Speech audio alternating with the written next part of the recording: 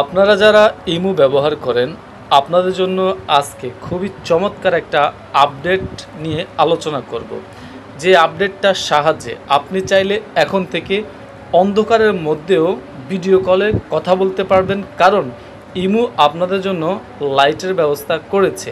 তো কীভাবে আপডেটটা কাজে লাগাবেন এবং কীভাবে আপনার ইমুতে এই আপডেটটা সেটিংস করবেন এবং আপনি এই আপডেটটা পেয়েছেন কিনা আমাদেরকে কমেন্ট বক্সে কমেন্টের মাধ্যমে জানাতে পারেন। তো চলুন আমরা আপনাদেরকে ইমুতে গিয়ে দেখাই আপনারা কীভাবে এই আপডেটটা কাজে লাগাবেন। দর্শক, আপনি এই আপডেটটা যদি না পান, তাহলে আপনি আপনার ফোনের গুগল প্লে স্টোরে চলে আসবেন। প্লে স্টোরে আসার পরে আপনি আপনার ইমুটাকে আপডেট করে নেবেন এইখান থেকে।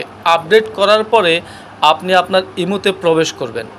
ইমুতে প্রবেশ করার পরে আপনাদের সামনে এভাবে ইমুর একটা হোম পেজ চলে আসবে। আসার পরে আপনি এইখানে আপনার যে ইমো আইডিগুলো আছে, সেগুলো আপনি দেখতে পারবেন। তাই আপনাদেরকে দেখাচ্ছি, আমি এই আইডিটাতে ভিডিও কল দেব। ভিডিও কল যখন দিচ্ছি, দেওয়ার সাথে সাথেই কিন্তু দেখেন এইখানে অনেকগুলো অপশন চলে আসছে। এখানে একটা অপশন আপনারা দেখতে পাচ্ছেন, নিচে লাইটের অপশন এই লাইটটা যখন আপনি ক্লিক করে দিবেন, তখন দেখেন আপনার ইমুর চতুর্পাশে একটা লাইটের অপশন চলে আসছে।